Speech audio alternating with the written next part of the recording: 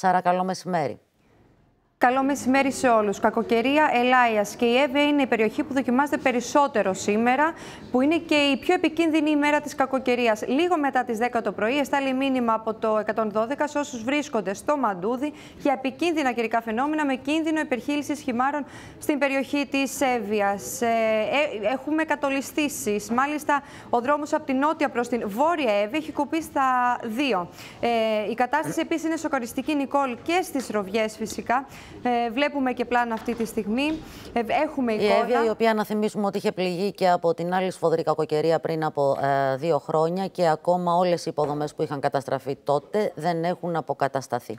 Επίσης, ε, ντόπια αναφέρουν πως έχουν εγκλωβιστεί κάτοικοι και στις Ροβιές και στο Δερβένι. Ε, ωστόσο, πριν από λίγο, ο εκπρόσωπος τύπου του πυροσβεστικού σώματος ανέφερε πως όσον αφορά τώρα τους εγκλωβισμούς, είχαμε πέντε συγκεκριμένες περιπτώσεις σε αυτές τις περιοχές της ε, Εύβοιας.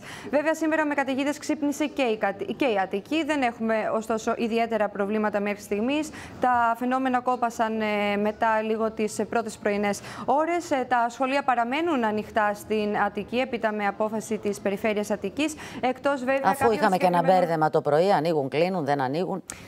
Ακριβώς έτσι. Βέβαια, κάποιοι δήμοι ε, αποφασίζουν ε, τοπικά να κλείσουν ε, σχολεία, συγκεκριμένα στον Οροπό. Σήμερα είναι όλα τα σχολεία κλειστά.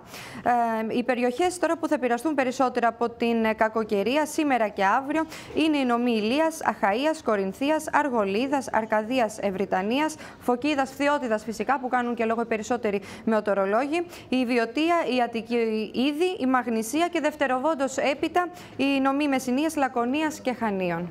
Μάλιστα, Σάρα Τσέλα, σε ευχαριστούμε.